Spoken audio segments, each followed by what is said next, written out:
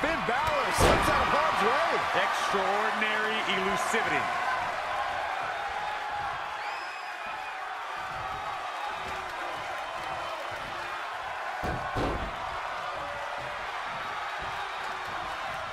Boom, a forearm smash. There he goes, crashing to the floor.